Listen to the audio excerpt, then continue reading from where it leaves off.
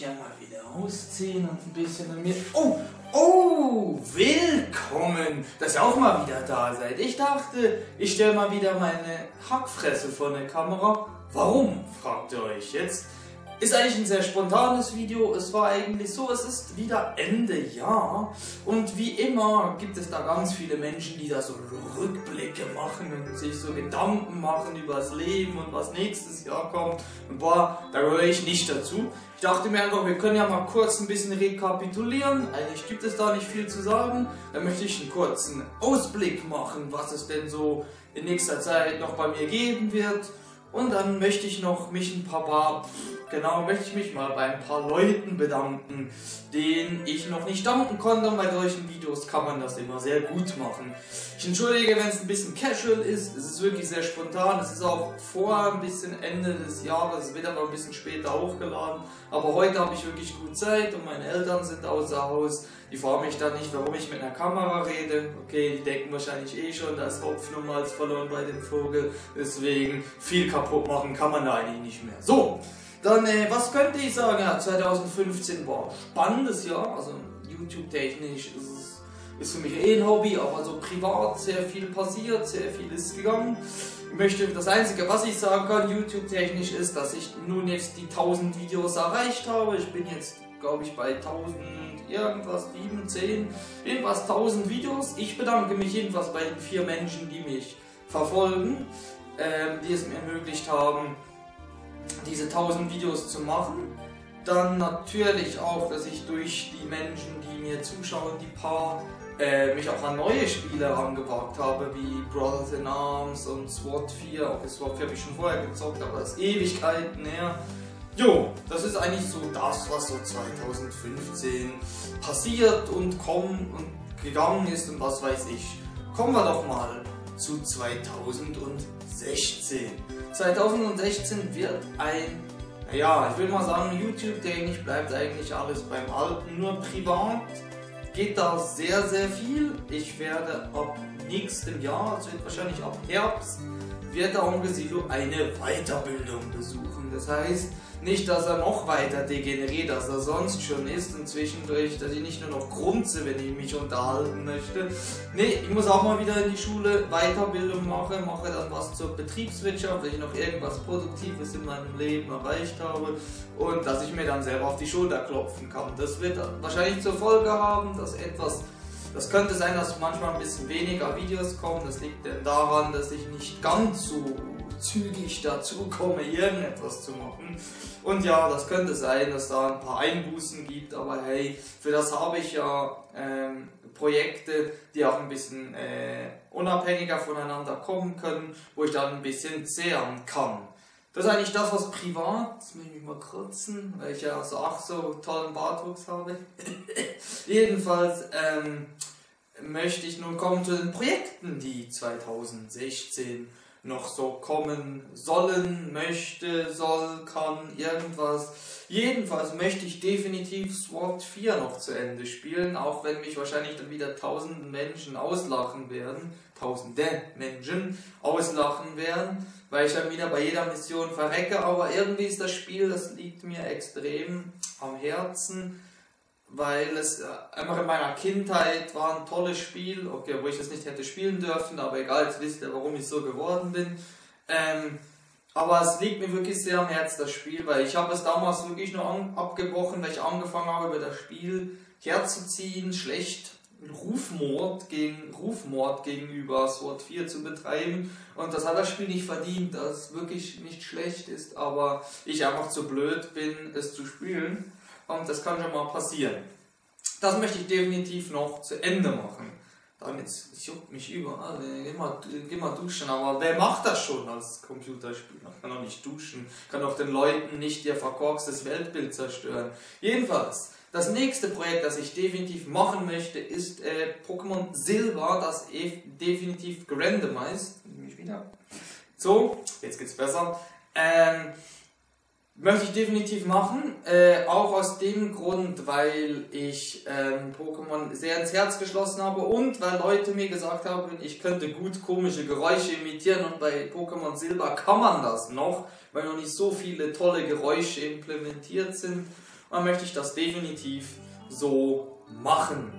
Ne, haben wir das gesagt. Dann ich, möchte ich definitiv auch noch Overlord 2 spielen, weil Overlord 1 muss ganz ehrlich sagen, ich habe das ja mal vor Jahren als Let's Play gesehen und hätte nicht gedacht, dass es so, so flasht, richtig Spaß macht. Es macht richtig Spaß und ich glaube, der zweite Teil macht dann nochmal ein bisschen mehr Spaß.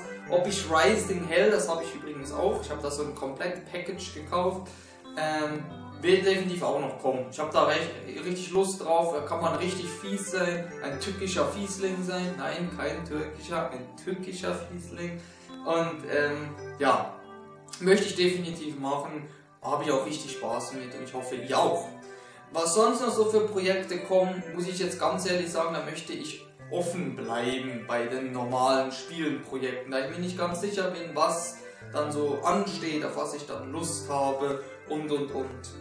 Da möchte ich definitiv die, Entschuldigung, wenn man Mama mal mexikanisch essen, dann sagt der Magen, arriba, ich komm gleich wieder raus. Naja, jedenfalls, ähm, das Talk-Format möchte ich unbedingt weiter betreiben. Quatsch mal Zahnlocker.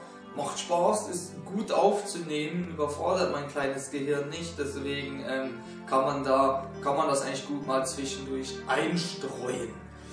Das Projekt, das ich definitiv auch weitermachen möchte, ist gestaged. Oder es wird gestaged, heißt es, glaube ich. Ähm, ist einfach so, weil der Tank mir sehr am Herzen liegt, weil er von allen eigentlich diskriminiert wird. Weil er ein bisschen komisch aussieht, aber ich, ich finde, ich habe ihn extrem ins Herz geschlossen, weil man damit echt Leuten auf den Keks gehen kann. Und ich möchte dieses Format definitiv weiterführen. Der Fly hat in einem Anfall aus äh, Wahnsinn sein FV verkauft. Ob er dann wieder kaufen will, weiß ich nicht, aber er wird dann wahrscheinlich aber mit einem anderen Tank mitfahren. Ich glaube dann sicher irgendwann dann mal mit dem WT auf E100 und dann können wir maximal Leute nerven. Er mit seinen 5 fünf oder sechs Schusszylinder und ich mit meiner Glaskanone. Das könnte lustige Kombi werden, weil wir halt zwei Tanks aus Papier sind und dann halt einfach austeilen wie die Chefs. Und das macht auch echt Spaß zum Aufnehmen. Es geht auch sehr einfach zum Aufnehmen, jedenfalls für mich und auch zum Schneiden, da ich jetzt nicht wirklich ein Videokünstler bin in dem Sinn. Und das ist sehr praktisch zum Aufnehmen und das möchte ich definitiv machen. Wie gesagt, bei den anderen Projekten möchte ich mich nicht festlegen, weil ich da mal der Meinung bin, es muss auch noch so sein, dass ich wirklich Bock auf die Spiele habe, weil Sonst, ich habe es letztens gemerkt bei den Pokémon-Parts, bei den letzteren, war ich etwas zu unmotiviert und das gefällt mir nicht, obwohl ich Pokémon echt gerne spiele. Also liegt es nicht daran, dass ich keinen Bock darauf hätte, aber irgendwie kam das nicht, kam, für mich kam das irgendwie nicht richtig rüber und ich, ich möchte das nicht, dass das dann in so einer äh, Sache endet, dass dann irgendwie nur so unmotiviert kommentiert wird und man dann vor dem Bildschirm sitzt und nur noch so macht, genau. Und das möchte ich ja nicht.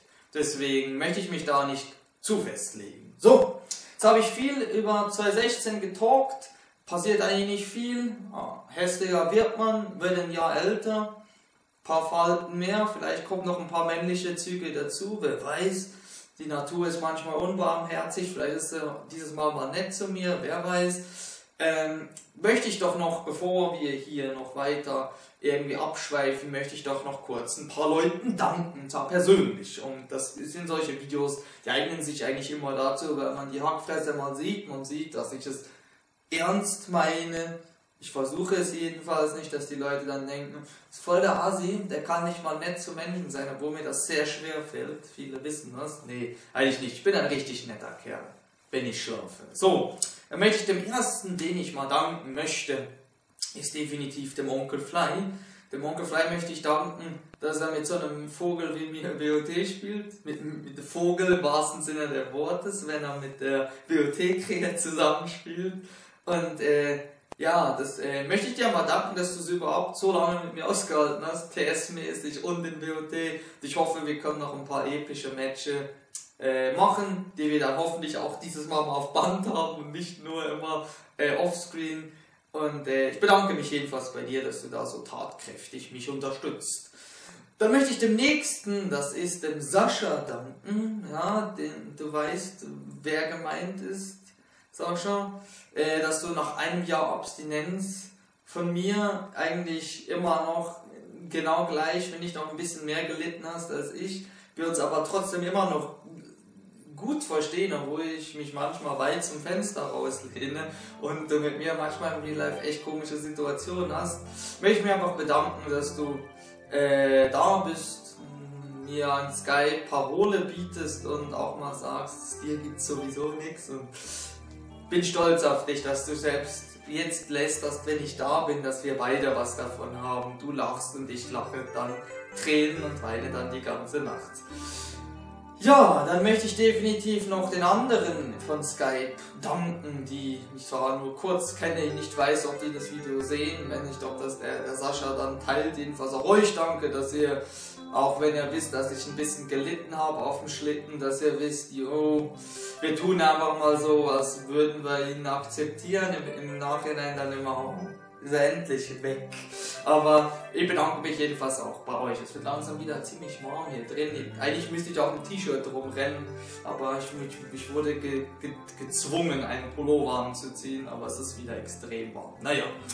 Dann möchte ich definitiv auch dem Bardur danken, dem alten Stück Zement, einfach auch für die, dass die Freundschaft eigentlich auch, wenn er so stark gewachsen ist, dass er eigentlich immer sich so gut es geht die Zeit für meine unqualifizierten Kommentare nimmt und äh, dass er eigentlich immer noch so greifbar bleibt. Es gibt ja viele, die können mit so, so Macht oder so, können die schlecht umgehen. Das heißt Macht, ich will mal sagen mit äh, Berühmtheit, können da schlecht damit umgehen.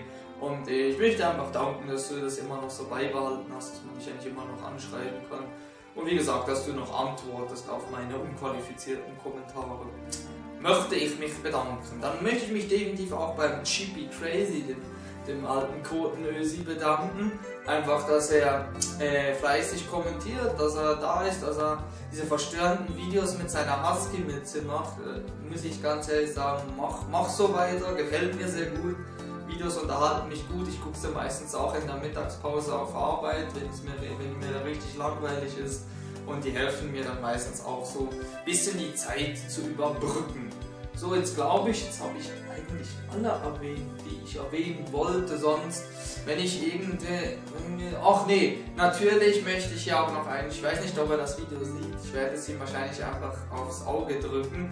Jedenfalls äh, möchte ich mich auch bei Steven alias YOLOCroc äh, bedanken, dass wir, obwohl, er ja viel größer als ich ist und ich kenne ihn glaube ich schon seit Ewigkeiten, ich weiß es gar nicht, ob es seit oh, wann war es sicher seit 2011 oder so habe ich ihn in Skype, aber irgendwie ist das immer so ein bisschen nebenher gelaufen. Jedenfalls auch danke für die interessanten Skype-Gespräche, dass ich, dass ich natürlich, weil der Swigler ist immer freut, wenn er mit äh, YOLOCroc äh, reden darf. Jedenfalls auch danke für die interessanten Skype-Gespräche und auch zwischendurch, was du noch so erzählst, ist echt interessant. Bedanke ich mich. Und sonst die Leute, die ich vergessen habe. so, möchte ich mich jedenfalls entschuldigen, falls ich die vergessen habe. Aber ihr wisst ja, wenn müsst euch das männliche Gehirn so vorstellen, ihr habt so ein Kipplabyrinth und zwischendurch kommt so ein äh, Auslöser und dann wird der durchgeschleust und wenn halt die Kugel in, in ein Loch fällt, dann macht es einfach erstmal und dann braucht es eine Zeit lang, bis der neue Impuls am Auslöser ist. Und wenn er am Auslöser ist, dann haha! Und dann weiß man, was man sagen möchte. Und dann ist es meistens schon zu spät. Deswegen vergebt mir, wenn ich irgendjemanden vergessen haben sollte, jedenfalls auch bei euch bedanke ich mich, bei meinen Zuschauern. Ähm, ja, natürlich auch bei meinen Eltern, auch wenn die das Video nicht sehen werden. Die wissen ja, die sagen sich zwar, okay, ihm gibt es zwar nichts, aber wir tun so, als würden wir ihn mögen. Das ist wie mein Großvater, der zu mir sagt, du bist mein Lieblingsenkel und dann muss ich halt einfach trocken antworten, ich bin dein einziger Enkel. Ähm, aber ja, so ist das halt. So, Jetzt war aber ziemliches Casual-Video, war nicht viel geplant, ich habe kein Drehbuch, gar nichts. Ich habe mich einfach gedacht, ich stelle mich mal vor die Kamera, tu so, als wäre ich wahnsinnig gut vorbereitet und wahnsinnig lustig und äh, hat zwar alles nicht geklappt, aber hey, was, was will man mehr? Dann möchte ich doch sagen, wünsche ich euch jedenfalls äh, schöne Festtage. Ich weiß nicht genau, wann das Video kommt. Es wird wahrscheinlich noch vor Weihnachten kommen, nehme ich jetzt mal an, wenn nicht die Planung dann nicht vergesse, wie gesagt, wenn die Kugel nicht im Kipplabyrinth verschwindet und erst nach dem 24. ankommt, dann oh, ärgerlich. Aber ich, ich glaube, ich lade es dann wahrscheinlich vor Weihnachten hoch. Wünsche jedenfalls schöne Festtage, schönes neues Jahr. Dann Und bleibt alles sauber, seid nett zueinander, beschmeißt euch nicht mit Eis, sondern nur mit Schnee. Steine gibt es erst wieder nach Neujahr. Dann bedanke ich mich fürs Zuschauen, wünsche euch jetzt definitiv noch viel Spaß mit meinen Videos, die ihr gerade schaut, mit Quatsch mal Zahnlocker, wo ihr gerne Themen senden könnt, mit Gestage mit mir und dem Fly und vielleicht noch anderen Projekten. Und dann würde ich sagen, Peace, ich bin draußen, wir sehen uns in einem der nächsten Videos. Auf Wiedersehen.